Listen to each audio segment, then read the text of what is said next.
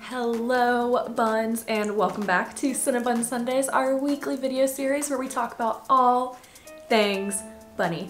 I'm Morgan, Cinnabun's bun mom, and today we are going to answer the question, are rabbits better than dogs.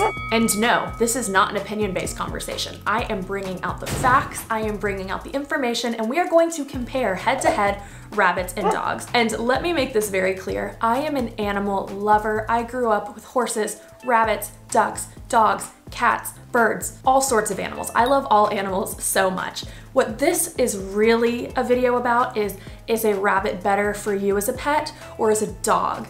Better for you as a pet. Because you might be surprised at what your answer at the end is going to be after comparing these two animals head to head. Now, before we get into the video, please give this video a big like. It really helps out our channel. And please hit that subscribe button. We are so close to 100,000 subscribers, which is just an absolute mind-blowing dream come true and I would love, love, love to hit 100,000 by the end of the year. So if you are just watching, make sure you subscribe because we would love to have you as a part of our family. And lastly, let me know if you like this video because I'd love to like do a part two of this video where we do rabbits versus cats. So comment down below, we can make this a little series. We are gonna start with lifespan. Now both rabbits and dogs have similar lifespans, so when you bring an animal home, you need to know that this is a big commitment that is going to last years and years and years. Average rabbit's lifespan is 8 to 12 years, whereas a dog is 10 to 13 years. And this can vary so much depending on the breed of either animal, so they're pretty equal in that spot, but it's important to know that if you bring a pet home, it is a decision for a long period of time.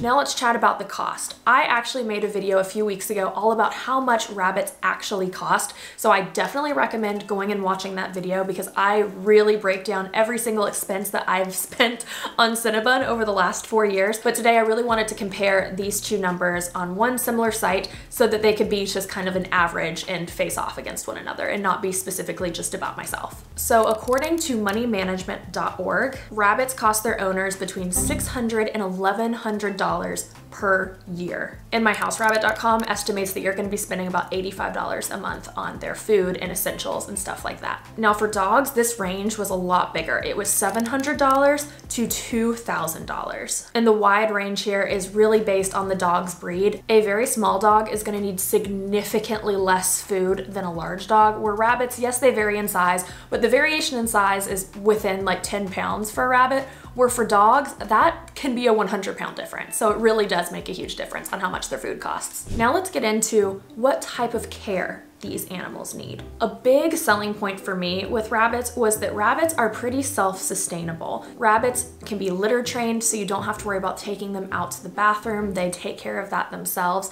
I don't need to bathe Cinnabun. You do not bathe rabbits. They groom themselves and then you just supplement that grooming with brushing every week or so. Where dogs need a lot more frequent care. Not only do you need to take your dog out to go to the bathroom, they cannot have a litter box inside. Dogs also need to go outside to play. Whereas a free roam rabbit, they get that exercise just from running around the house. Whereas most dogs need to go out into the world to go on walks and they need a walk every single day. Dogs also need a lot more care as far as grooming goes. Typically you will send your dog to a groomer or bathe them yourself and then also brush them, brush their teeth, all of that. I'm definitely summarizing here, depending on the type of rabbit you have and depending on the type of dog you have, there can be very specific care needs, but as an overarching thing, I find that the care for rabbits is a lot lower maintenance than the care for a dog. Now let's talk about socialization of both of these animals. Rabbits are prey animals, which means that inherently they are a lot more shy than dogs, which are predators. A prey animal's first instinct is to protect themselves, so they're pretty slow to trust and they don't typically like to be picked up and cuddled and grabbed, and they don't love strangers. So if you're looking for an animal that you can carry around, cuddle all of the time, and is gonna be really extroverted when you have friends over, that typically is not going to be a rabbit. Dogs are typically much more social animals. There's a lot of breweries that allow dogs. You can take dogs to dog parks pretty easily, and they're just more of a social creature than a rabbit is that typically like to keep to themselves and to either their partners or their owners. Rabbits also aren't super playful. The toys that you get rabbits are really more chew toys for them to play with by themselves,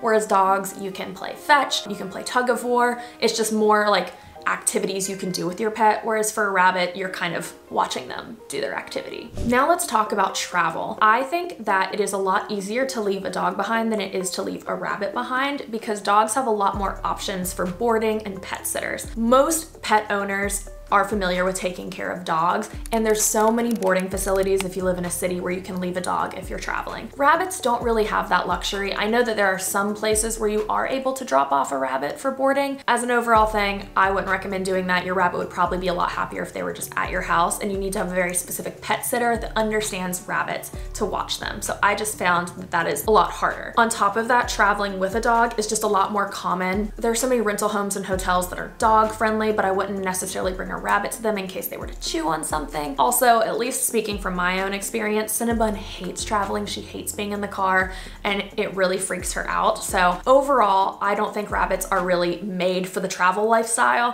whereas dogs are a lot more adaptable in that way. Let's talk about noise. This one's easy. Rabbits are silent. They do not make a noise. We call Cinnabun our silent pet. Dogs, they can bark. So if you're in a space where you don't want to hear a dog barking all the time, that might not be best for you. Damage and destruction. Rabbits are quite destructive as creatures. Their teeth are constantly growing, so they always, always, always want to chew. Once you bunny proof your house and your rabbit gets a little older and they learn right from wrong, it's easier to monitor their chewing, but they always have that urge. And if you own a rabbit, if you look around your home, you're gonna see bite marks all over everything. Whereas dogs can be extremely destructive with their teeth at least when they're puppies and their teeth are coming in. But as they get older and they're done teething, that typically goes away. However, I will say with a dog, the bigger the animal, the more destruction they cause. Rabbits, unless you're getting a Flemish giant, they're pretty small. They're typically under 10 pounds. They're not causing a lot of destruction outside of chewing. The bigger a dog is, the bigger their poop the bigger their messes. Their tails can knock things over. So I would honestly argue that both are destructive just in different ways and it depends on the space that you have. I think smaller spaces can be more conducive to a rabbit where a bigger space might be better for a dog. Now let's talk about smell. You might be surprised to learn that rabbits do not have an odor.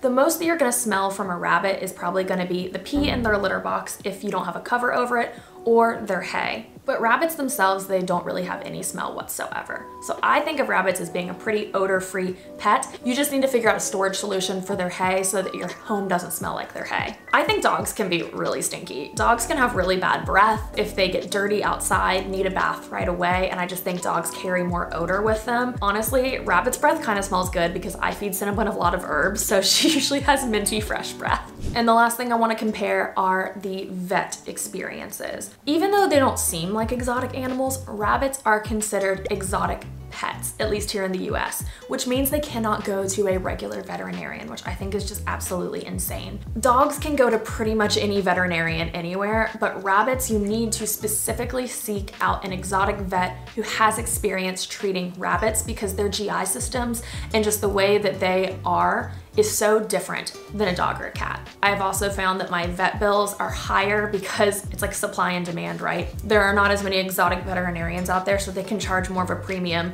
than any vet that you can go to. Because I feel like there are vets on like every corner these days, and I can't go to any of them with Cinnabun. So that was a really big thing for me is knowing that if I were to get a rabbit, I would need to know where the closest rabbit savvy vet is. And anytime I travel with Cinnabun, I make sure to look up a rabbit savvy vet in that area. It's just not readily available. So which of these two is better?